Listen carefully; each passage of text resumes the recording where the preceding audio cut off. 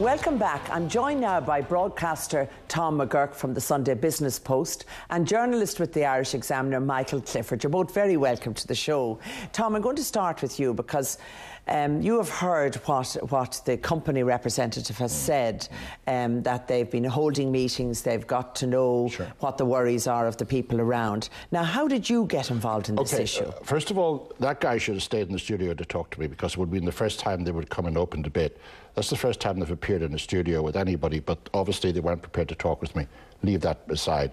I was contacted a few months ago as, an, as a campaigning investigative journalist by people in the Midlands saying that thousands of turbines, 600 foot tall, taller than the spire, biggest turbines in the world, going into their community. They could get no answers, they could get no explanations. It seemed to be a done deal. And from there on, it has grown, and people have asked more and more questions.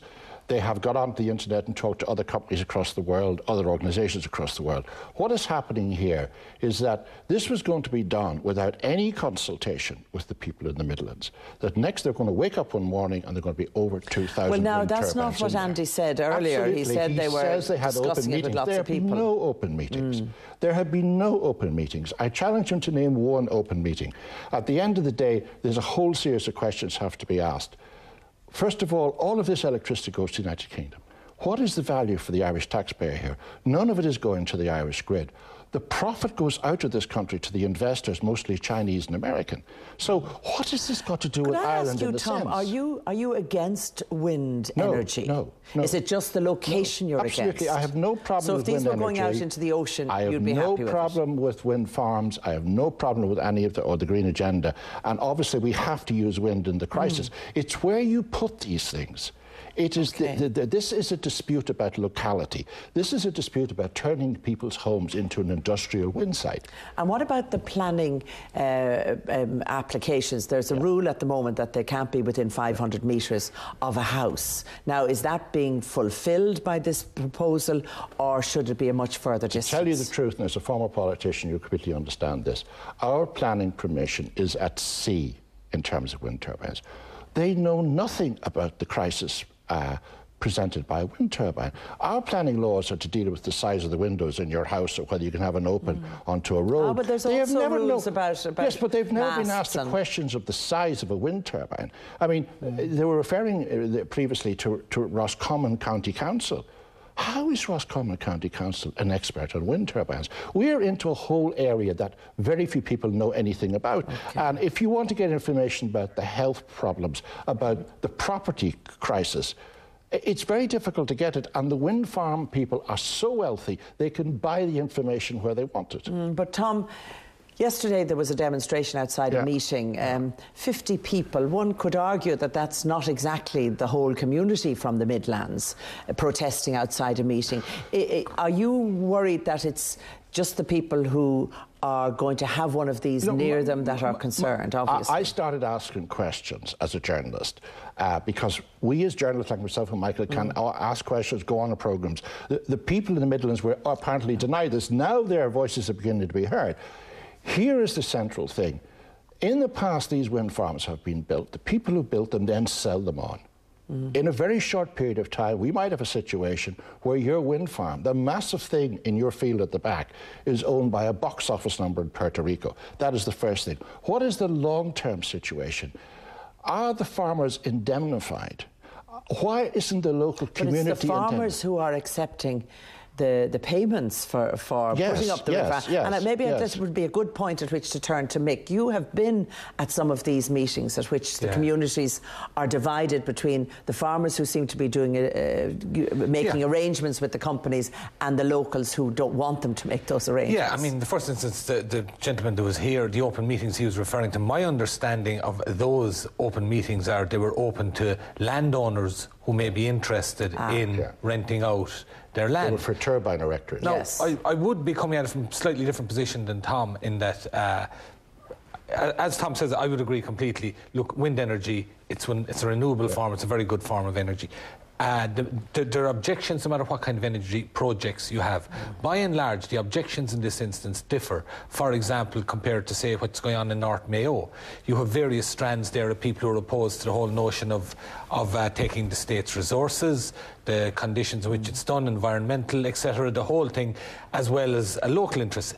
This, to me, the opposition to wind farms tends to be basically because people are afraid for A, the value of their homes, and B, the disturbance noise. from noise in particular. And the environment, Michael, yeah. as well. And would no, many... I don't. I haven't seen that as much, Tom. I haven't come across that as much. To my mind, it is mainly the first two. That's just. Could what, I ask what you, Mick, and indeed Tom, have you gone? There are two wind farms already. I think one in Leitrim and one in Kerry.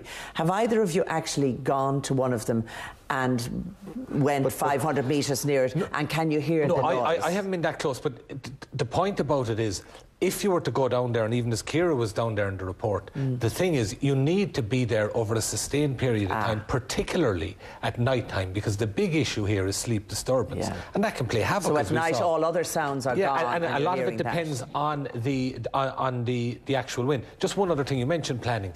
The planning situation is that there are guidelines there that are not, have no statutory basis. So it's up to each local authority to implement them as they see fit. Now, there are rough guidelines for a 500 metres yes. separation distance, but the turbines for the ones that are being proposed down the Midlands are three times the size of the design that was there in 06. So you could argue, I mean, they're higher. So you, uh, you could argue you, nearly that the standard would be further For away. example, Senator yeah. John Whelan yeah. are, are some of them, they want a separation distance extrapolating to up to one and a half kilometres. kilometres. Now, that would not that make the project no, viable. No. Well, Tom, you said that this, the energy created by this, if this yeah. gets planning permission, is all going to the UK. Yeah, yeah. Would you be in favour of it if it was coming to Ireland? Well, I mean, is that a problem? I mean, that's a, that's a different question. It's important to remember that this has nothing to do with the Irish state. This yeah. is a, a, a, international companies building wind farms to export energy to the UK. Let me go back to the situation Michael mentioned about the concern of people. At the moment, the wind farmers, farmers are, uh, the wind firms are indemnifying the wind farmers. In other words, when they put this massive turbine up, they indemnify it under insurance. Mm. If it does fall down or if it damages yeah. or people sues, all of the other things. They should now think of indemnifying everybody in the area who were within a certain distance. I see. That and would, what distance do you think? Well, I don't know. Yeah, L- I know. Let's have an enough, agreement yeah. on that because yeah. we're asking planners questions for something they've never seen mm. before. There's, they've never had anything this size to deal with. These are three times the size yeah. of the wind mm. turbines we have here. These are the biggest in the world. I know. 2,000 of them in a rural in rural counties in Ireland. Why aren't they offshore? The, the, the well, I mean, why aren't they on the coast? Because it's too expensive. Could I, could I say to you, Mick, um, if you travel anywhere now on, on, on, Europe, if you go to Denmark, yeah. if you go to the Canary Islands, if you go to Spain, if you go to Germany, there's something like 28,000 or 30,000 of these. Why is it that they seem to be accepting them in those countries as a kind of an environmentally yeah. friendly issue and we're having the problems that we have well, here. Is well, it, is one it obvious, lack of knowledge? One, no, one obvious answer there is our historic planning arrangements. Okay. We are littered with one-off houses in a lot of the places ah. you're describing. Our countryside entirely tracts, different. Mm. The vast tracts of land that won't interfere with other people. But uh, the, sorry, the, in relation to the planning, that is currently under review, and they're going to see how far they're going to have them but separated. under review with who? The Department of the Department Environment. Of Environment. Are, who is the expertise in there, Mike? Yeah. Well, no more You're expertise. Dealing with something we've never dealt with before. I understand can't that. They, can't they avail of expertise from some of these other European countries that have put them up? Well, they can. The other issue is it's going to come before the courts because there is currently one action from a That's village right. in North Cork where, mm. where, they're hoping to, to, So how the courts will decide, and it'll be another. As I understand, and will the courts have the expertise? They can they buy it in? in, in as I understand, no, it, it must be, it must be said, there is no firm empirical evidence about the damage that they do. There have been studies in Australia, in true, Canada. No, there have been no, studies. No, there have been studies, but none have been on a scale that would suggest that it's entirely conclusive evidence. There, there, have been a number that suggest there are issues. The most recent one in Maine in the US, mm. they did it people who lived within a kilometre and people who didn't, and the difference in their sleep patterns. And they maintained that the results of that suggest that there is sleep interruption as a result. Yeah. But from what I can see, there's been nothing conclusively to say Mm. that on a large scale that this is definitely an issue within a certain distance. There, there are distinguished scientists all around the world completely disagree with you. And one of the problems in this situation is that the wind industry is so expensive, it pays for expertise. You pay enough money, you'll get an opinion you want. Let me go back to what's going to happen down here. As I understand, this is going to become a political issue in the local elections. Hmm. That those opposed to wind farms are going to use the opportunity to have a democratic voice to say something about it.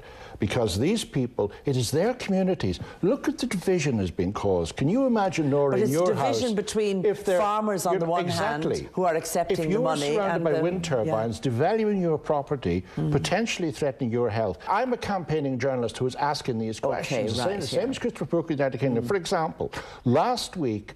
Uh, 120 members of parliament in the United Kingdom came out and said no more wind farms, farms, in our constituencies. The movement is growing, and people are asking, put them offshore where nobody objects to them, Well- where they're most efficient, That's the start of the next debate when you come back to us. Thank you both very Thank much very much. indeed. Thank you.